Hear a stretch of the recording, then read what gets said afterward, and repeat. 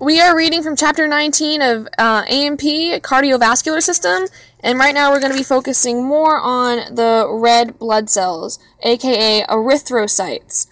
Now, there, most of your blood is actually red blood cells in comparison to the other two other two formed elements, the white blood cells and the platelets.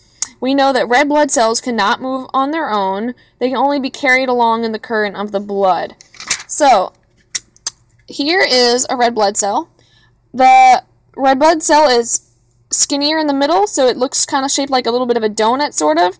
And because of this shape, it is able to bend and fold at the center so that it can easily squeeze through tight spaces, or if the veins um, are constricting or getting smaller, these guys can bend and change their shape in order to get through tight spaces. Other thing you need to know is that what makes them red is the pigment called hemoglobin, which is a protein. Protein, um, here, this, this is what a hemoglobin molecule actually looks like. It's made up of two parts, a heme and a globin, hence the hemoglobin. So here what we have here is the globins are these wormy globular looking things, and the hemes are these little discs. So each hemoglobin, hemoglobin protein molecule contains two globins. The orange part and the red part are two globins. And each hemoglobin molecule also contains four hemes. So per one hemoglobin, there's four hemes and two globins right here. So this is important because the function or the purpose of a red blood cell is to deliver oxygen to the tissues and to the cells and also to transport the carbon dioxide as a waste product away from the cells and carry it back to the lungs where we can exhale and get it out of our bodies. So how to do that? Well, the oxygen is actually going to attach to the heme groups. So any any one given hemoglobin can deliver up to four oxygen molecules per hemoglobin. So one, two, three, four oxygen molecules at a time. Now, once the hemoglobin delivers that oxygen, it is now free to carry carbon dioxide away from the cell as a waste product to the lungs. And the, and the carbon dioxides attach to the globin so they can carry two carbon dioxides back and away. Now, one of the important things um, required for building hemoglobin is iron. Kind of like you need wood to build a house. If you don't have iron, you can't really build or have hemoglobin um, just because that's one of the ingredients. Now, um, they talk about something called hemolysis. Now, hemolysis, the root word here, heme, has to do with formed elements, and red blood cells are a formed element. So whenever you see the word heme, you know we're talking about either a red blood cell, white blood cell, or platelet. So hemolysis referring to the lysing or the breaking down or um, collapsing, breaking down, degrading of of this formed element. So hemolysis is the breakdown of red blood cells. And to a point, this is normal. Everyone's red blood cells die eventually, and your body has to constantly be making more. So, um, when hemolysis is a problem, is in cases like hemolytic anemia, where um, anemics are having problems with their red blood cells. Maybe they're dying too quickly and they can't replace them fast enough, or something is wrong with them and they're not working properly. Um, so one of one of the things that anemics have problems with is sometimes they have an iron deficiency. And if you don't have iron, we know that you can't build hemoglobin. And if you don't have hemoglobin, you can't have functioning red blood cells. And without red blood cells, you can't deliver oxygen to your tissues. So you'll just feel generally tired and out of breath. And that's why um, sometimes anemics are like that. They feel tired all the time. Um, one of the things an anemic can do, though, is take iron supplements or vitamin C supplements. Because here it says that stomach acid and vitamin C in food increase iron absorption. So the problem might not be that you're not eating enough iron, because even if you're eating enough iron and having supplements and everything else, if you don't have adequate vitamin C, you won't be able to absorb the iron that you are actually getting. So these two go hand in hand. You need to have both in order for it to work. now back to um, the carbon dioxide, which gets transported in the globin. This is an important part. I remember um, taking a test, and this was one of the questions. And I always remember the questions that I miss, and this is one of the questions that I missed, so I'm having an emphasis on this. it says that carbon dioxide is transported in the blood in three major ways. We talked about one of them already. The first one being that the carbon dioxide attaches to the globin. Now, there's two other ways. Approximately 7% is dissolved in the plasma. So, if we go back to this picture, and here's the this is your blood. We remember that over half of your blood is actually just plasma, which most of that is just water.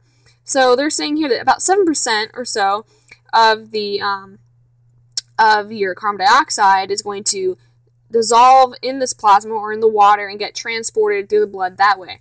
And that's what this 2% of other solutes accounts for. It says gases being one of those other solutes that could be in there. So, so the first way could 7% is dissolved in plasma. Approximately 23 is combined with the hemoglobin, as which we discussed earlier, where the the carbon dioxide will attach to this globin and get transported back on the red blood cell.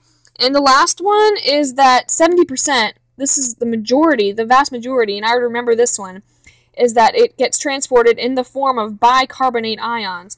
And I'm not a chemistry person, so I don't really know too much about all of this, but basically what happens is these bicarbonate ions are produced when carbon dioxide mixes with water and they combine to form this other thing and blah blah blah. Basically, you don't need to know this, you just need to know the three different ways and which one is the most. So just remember that in the form of bicarbonate ions is the most prevalent of the three options. Let's see. Now, back to the hemoglobin. Now, a person can identify or classify or give a name to a hemoglobin depending on what it is carrying. So if we look at this first vocab word, it says oxyhemoglobin. Now let's pretend that this hemoglobin is carrying oxygen to the cells. So oxygen would be all attached to this. This is what you would call an oxyhemoglobin, hence oxy, because it's containing oxygen. So this oxygenated form of hemoglobin is called oxyhemoglobin. The next one is deoxyhemoglobin, and it is generally what you would suspect after the hemoglobin delivers the oxygen to the cells and drops off the oxygen. It no longer has oxygen on it anymore and it's not carrying anything. So it is called deoxyhemoglobin. Now, when hemoglobin is transporting carbon dioxide, um, in one of those three options that we mentioned, it will be attached to the glo- to the globin, and that one, a hemoglobin that's carrying carbon dioxide, will be called a carbaminohemoglobin. Just look at the root carb for like carbon monox- carbon dioxide. Um, let's see. Um, the last one is carboxyhemoglobin. Now this one is bad. Um, I don't know how many of you have maybe heard of carbon monoxide poisoning, but you know it's like when people get locked in the garage and the car is on and the exhaust pipe um, is having all the fumes. People inhale it and they die. So what happens is the carbon monoxide is um, an is a, going to compete with oxygen for these heme sites. The carbon monoxide and the oxygen both want to attach to these. So what ends up happening is the carbon monoxide wins, kicks oxygen off, and attaches to this. So the red blood cell thinks that it's delivering oxygen to the cells, but it's really not. It's delivering carbon monoxide. And you need oxygen to survive. You need it to, for your cells, you know, to have a metabolism, to have energy. And so what ends up happening is basically you suffocate and this hemoglobin is no longer able to transport the oxygen. So this is um, can end up with different um, what do you call it side effects as like headache, unconsciousness, and even death if it gets to be too severe. so let's talk a little bit about the life cycle and the history of a red blood cell. Well, they don't live forever. You know, they die eventually. Um, so, in, even when you donate blood, you have to be constantly ma- making more. So, back to the production of red blood cells. We kind of mentioned this earlier in an, another video. This whole process here is showing you how, t- from a stem cell, how they can turn either into a red blood cell, all the different types of white blood cells, or into the platelets. So, all this whole process is called hematopoiesis, or the production of any formed element. The production of specifically red blood cells from stem to red blood cell is specifically called erythropoiesis. Erythropoiesis. Because a red blood cell is called an erythrocyte. An erythrocyte. So, Um, erythropoiesis is the production of these red blood cells, and it takes about four days to do so. That's pretty much everything you need to know for that. Um, let's see. This is also important when it says red blood cell production is stimulated by a low blood oxygen level. This is saying that, like, when you are maybe in the mountains or something where there's not a lot of oxygen, you're not going to be delivering as much oxygen to your cells um, because there's not going to be enough oxygen in the environment. So your body's going to respond by by making more red blood cells in order to carry the oxygen. So, because of the more red blood cells you have, the more carriers you have to deliver the oxygen. So that's what they mean when they say red blood cell production is stimulated by low blood oxygen levels, which typically result from decreased numbers of red blood cells, blah, blah, blah. This can happen with your environment or in situations when you're maybe doing endurance exercise, like running a mile, or that might be a long distance exercise for some people like me, or for fit people, maybe like a marathon. But, um, yeah, so, um, athletes tend to have, like, more uh, red blood cells than others do because they're constantly putting themselves in a low oxygen environment, which would cause their body to stimulate erythropoiesis. Now, how does it do that? Well, I'm glad you asked. The kidneys are the key player here. So the kidneys are the, going to be ones that are going to sense the decreased oxygen in your blood, and so they're going to be like, okay, kidneys, we got to do something. We need oxygen, or else we're going to die. So they, what they do is that they secrete a hormone called erythropoietin. Now, isn't that conveniently named? Now, the erythropoietin is going to travel into the, the bone where the bone marrow is, and the bone marrow is actually going to be the ones that actually make new red blood cells. And the more red blood cells, blood cells you have, the more ability you have to make to carry oxygen. So it's going to end up with a, a result of increased blood oxygen. Now, this bone marrow thing is important a lot of people sometimes donate blood marrow or bone marrow because maybe someone um, doesn't have enough red blood cells or whatever the case might have you, and so someone donates their red their um, bone marrow so that others can be able to make um, red blood cells and maybe white blood cells and all that stuff. So that's important. All right, so now here we are with a lovely another diagram and we're going to be talking a little bit about hemolysis again. We talked about that a little bit. Hemolysis being, um, let me write that down again. The lysis of or breaking down of the red blood cells. So this diagram is showing you what you need to know about what happens when a red blood cell is broken down into pieces. So you have an aged, abnormal, or damaged red blood cell, and basically they're going to die and um, when they do so they're going to the red blood cells are going to break down into their individual hemoglobin um, protein molecules. So they're all going to break down into those.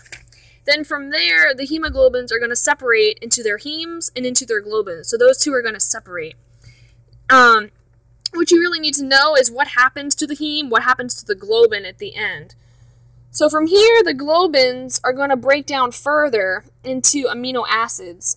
Now, amino acids are the building blocks of proteins. So just imagine that globin is like um, a wall, okay?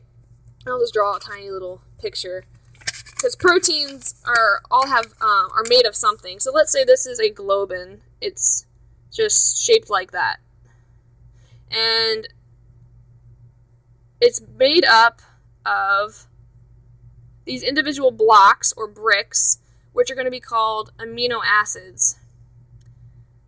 Think of them as maybe Legos. So, these individual amino acids come together in a certain pattern to build a protein. So, this whole thing would be a protein, and in this case, it is a, eh, a globin. It's hard to write and hold the camera. All right, so what's going to happen is the globin is now going to break up into small pieces into separate amino acids. So now it's going to separate, and each little block is going to go forth and find something else to do. So that's why it just has an arrow going off, because these individual amino acids can be used to build other proteins, like globins. It can be used to make anything. You can think of amino acids as like letters of the alphabet. Let me get a marker, it's easier. Um, so like, let's pretend that amino acids are like the letters of the alphabet A, B, C, D, E, F, G, and so forth. You use each one of these amino acids to build something. So let's say you want to build a word, like you want to build the word boat. So you need four different amino acids to build this protein, which is boat. Now, when this protein gets broken down, you break it apart, you take the separate amino acids and take them to go somewhere else. Let's say you need to make another protein um, and you wanted to make a toe protein. T O E. So you would take this amino acid to build up a new protein. Or you might take the B from this one and spell, I don't know, uh, bird, which is a different protein. So you can think of amino acids that way, as different letters that can be broken down and used to build all sorts of proteins. Anyway, back to on topic. Um, so, after the hemoglobin breaks up into heme and the globin, the globin goes off and breaks down into amino acids. The heme now, what you need to know really basically is that it converts into something called bilirubin. The bilirubin is then going to be um, going to the, the liver here. The, it just kind of gets stored there for now. And then at the end, it's going to be the bilirubin is going to turn into some of the bile that the liver produces, and it's going to go into the small intestines and get excreted. Um, and this might be some kind of gross for some people, but if you're planning on being a nursing major, um, which most people are if they're taking this, then you're going to have to get used to it. Um, the book says that you know bile is excreted into the intestine, and then you know when you um, have a bowel movement uh, and your poop comes out, you know it's like brownish color, and some of that has to do with the pigment originally from the hemoglobins, because remember they're like this dark reddish color. And um, if you've ever seen dried blood, it looks kind of brown. So that pigment carries through all the way into your little poopy, and that's part of the reason why your pigment of your bowels are that color. Aren't you glad you've learned that? Anyway, so one last thing is that the heme part of it goes into the turns into bilirubin. The other part, remember we said iron was an important building block of the heme. The iron is also going to get stripped off because you're you're breaking it down to all its separate pieces. So the globin, the the heme, and the iron, and the iron's going to basically go off and then go back to the bone marrow so that it can be used once again to build new red blood cells when erythropoiesis happens. Because remember that um, red blood cells are made from the bone marrow and that you need iron to build them, so it's going to be recycled all the way back there. So essentially, what you need to know is the end result. So you start with hemoglobin, it breaks into hemoglobin, the globin gets broken down amino acids, the heme breaks into the heme and the iron, the iron goes back to the bone marrow, the, the heme turns into bilirubin, which goes into the liver, which secretes into bile, which goes here and comes out. That's pretty much all you need to know. And that is essentially the all you need to know about red blood cells.